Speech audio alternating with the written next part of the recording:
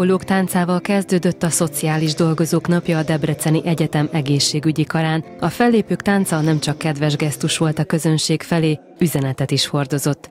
Móri Marian, az egyetem dékánya köszöntő beszédében megfogalmazta, a nehéz és áldozatos szociális munkát egyre kevesebb fiatal szeretné hivatásaként választani, de a tendencia az összefogás és együttműködés erejével még megfordítható.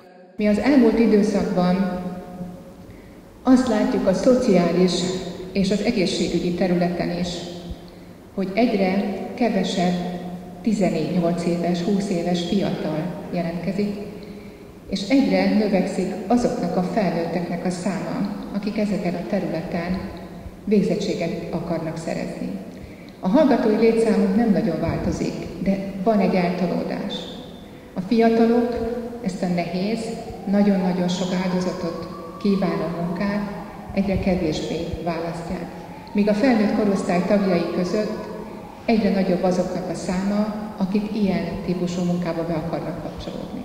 Sokat foglalkoztunk azzal, hogy ennek vajon milyen okai vannak, hogy ezzel mi hogyan tudnánk, mit tudunk mi ezzel kezdeni, tudunk-e ezen változtatni.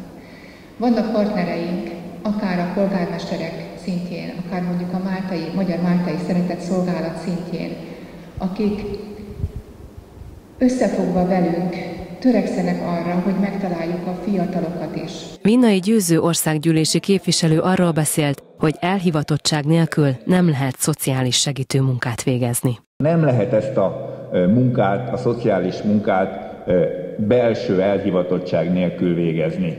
De a harmadik, ami, ami miatt tulajdonképpen én is itt vagyok, és egyre inkább látom azt, hogy milyen emberi kapcsolatok vannak a szociális dolgozók között, az intézmények között, és a megyében milyen szociális munka folyik. Tehát ezek az emberi kapcsolatok, a, a munkán túli kapcsolatok, amikor beszélgetünk egymással. Fülöp Attila szociális ügyekért felelős államtitkár a rendezvényen bejelentette, a jövő évben 20%-kal emelkedik a szociális területen dolgozók bére. 2022. január 1-től a szociális és gyerekvédelmi terület valamennyi dolgozója, tehát függetlenül attól, hogy önkormányzati, egyházi, civil vagy állami fenntartó intézménynél, szolgáltatónál dolgozik, mindenki 20%-os béremelésben fog részesülni.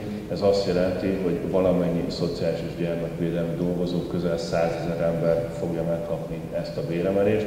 Ezt csak hogy egy számot hosszak meg önökkel, ez azt jelenti, hogy ezzel a béremeléssel az elmúlt három kormányzati ciklusban mintegy 170 százalékkal fog nőni az átlagbér mértéke.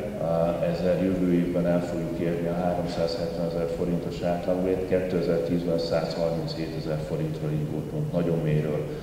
Az út azt gondolom, hogy jó, amin járunk, és ezen az úton szeretnénk tovább járni, ezen szeretnénk tovább dolgozni. Az ünnepség végén a szociális dolgozók munkáját ismerték el, a megye 20 legkiemelkedőbb dolgozóját a Sziszi Szent Ferenc díjjal is jutalmazták.